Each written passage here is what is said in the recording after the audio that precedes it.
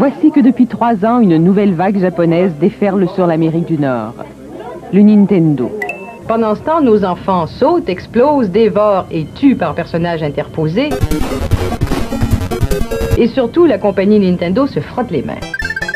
Le Nintendo a déjà envahi plus de 11 millions de foyers. L'exploitation de la violence fait aussi partie de la panoplie Nintendo. Un jeu vidéo qui transforme souvent ses adeptes en véritables obsédés. Putain, tiens, je t'ai enfoiré La fièvre du Nintendo frappe néanmoins sans distinction de sexe ou d'âge. Puis j'ai passé la fin de semaine de Pâques à peu près euh, au moins 8 à 10 heures par jour à jouer là-dessus pour essayer d'être capable de traverser le jeu. C'est ça que m'a fait Nintendo. Ah, ça y est Henriette Léger est la directrice de l'école.